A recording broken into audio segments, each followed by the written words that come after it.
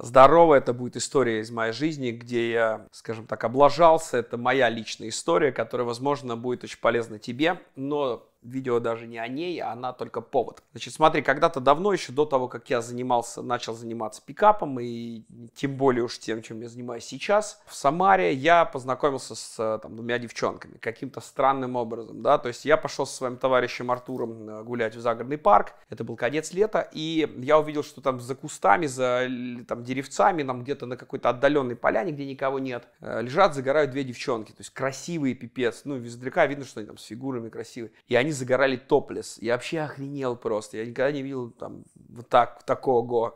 Я очень захотел с ними пообщаться. То есть, как бы желание было дичайшее, но меня, конечно, колбасило, там спотели руки, я весь покраснел, спотел. Меня просто парализовало, и как бы каким-то чудес, чудодейственным образом, то есть я пошел с ними все-таки познакомился, пересилил себя. А оказалось, что одна чуть-чуть постарше, как бы выглядела, другая помладше, они так прикрылись.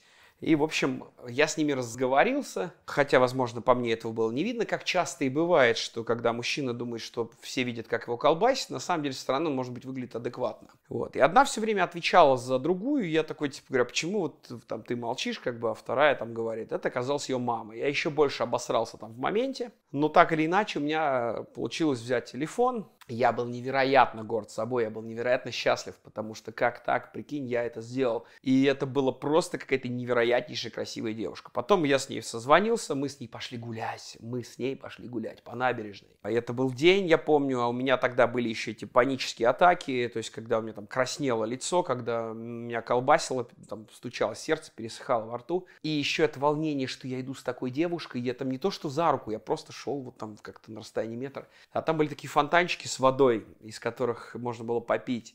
Я постоянно подходил, умывался, говорил, ой, мне жарко, что-то у меня там, типа, вот там что-то там как-то. То есть я пытался намочить лицо холодной водой, лишь бы только вот меня как-то расслабило, лишь бы только успокоиться. Потом у нас была там еще одна встреча. Я помню, как сейчас ее звали Оля, эту девушку.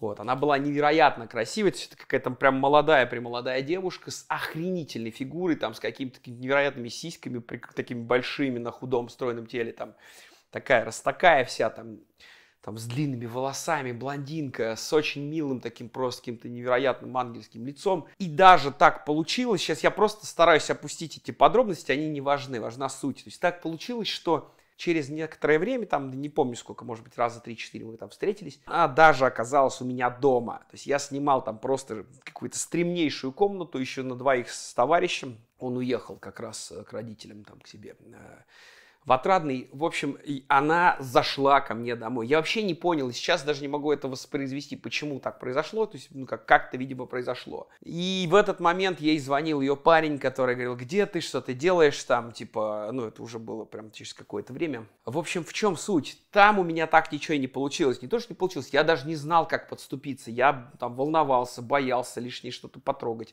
Может быть, я пытался ее обнять, она там говорила нет. То есть, ну, так или иначе, там ничего не получилось, я обосрался, как бы в этом плане, хотя как бы если женщина приходит тебе домой, значит она должна быть либо женщиной, либо никем, это факт. А мораль этого видео в чем? Смотри, значит, на тот момент это для меня была просто богиня, это был просто ангел, сошедший с небес. То есть я не мог поверить своему счастью, что я вообще с такой девушкой рядом нахожусь, там, с такой девушкой рядом гуляю.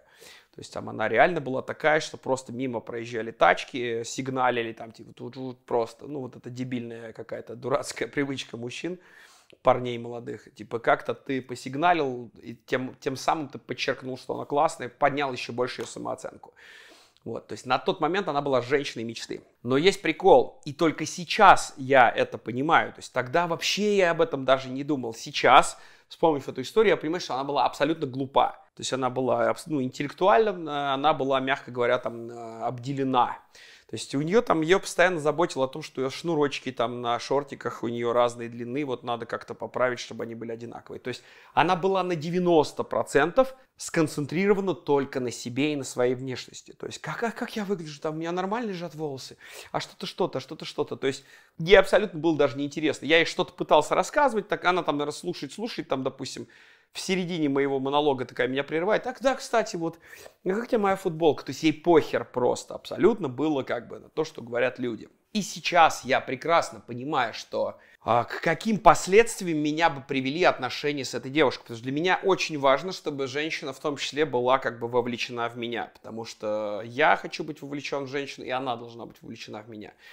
Вот, как бы. Тогда мне это было все равно, там, ее интеллект, что-то еще. То есть э, я понимаю, что в какой-то момент, если бы мне сказала эта девушка, там, слушай, а хочешь, я буду твоей женщиной на всю жизнь, я бы просто был окрылен, я бы просто летал от счастья, я бы там кричал, я бы скакал, я бы говорил, вау, какой я счастливый человек. То есть это было бы супер. Но сейчас пройдя свой путь, который я шел вот до того момента, как ты меня сейчас видишь здесь, со стороны, с той стороны экрана, я понимаю, как же зашибись, что как бы эта женщина не стала моей, и как зашибись, что у меня есть этот путь. И сейчас, если бы я встретил такую девушку, допустим, был бы телепортировать меня туда в прошлую жизнь, я был бы максимально спокоен. Я воспринимал бы ее спокойно.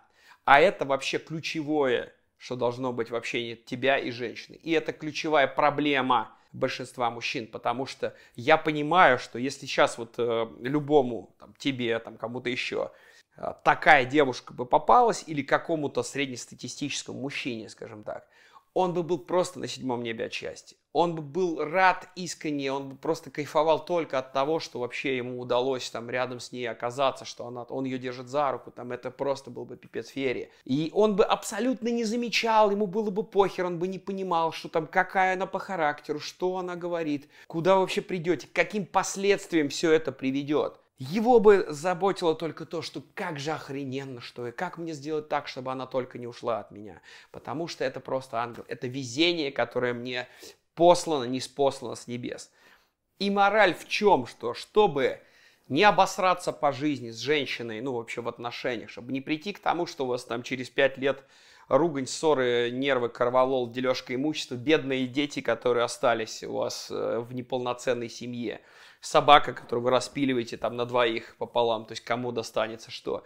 Чтобы не привело это к катастрофе, ключевое, ты должен максимально спокойно относиться к женщинам. И следующее, а для того, чтобы у тебя получилось максимально спокойно относиться к женщинам, у тебя они должны быть не как раз в год манна небесная, подарок на Новый год, там, чудо случилось, снизошла. То есть это должно быть нормальной практикой жизни. То есть женщины и красивые в том числе, те, которых тебе хочется, они должны для тебя стать нормой. То есть тебе нужен выбор и умение приходить к сексу, сближаться, нравиться таким женщинам, общаться с ними спокойно. Только тогда это единственный шанс не обосраться, единственный шанс как бы выбрать себе ту женщину, с которой тебе по кайфу и будет хорошо. Во всех остальных случаях вот эта слепота, глухота, которая нападает на тебя, немота, она приводит к катастрофическим последствиям. Как это можно сделать? Я приглашаю тебя на свой новый тренинг «Практика перезагрузка», который пройдет в самое ближайшее время в Москве. Жми здесь, записывайся. И еще один важный момент. Если сейчас, оборачиваясь на свой прошлый опыт, оценить как все было, я могу сказать одно, что я даже очень и очень рад, что с многими из этих женщин, с которыми у меня что-то не получилось, у меня с ними ничего не получилось. Потому что сейчас, возможно, это могло привести к катастрофе. Итак, 3 по 6 марта практика перезагрузка в Москве. Будем делать так, чтобы эти женщины стали для тебя привычной, нормальной, комфортной жизненной ситуацией. Увидимся там.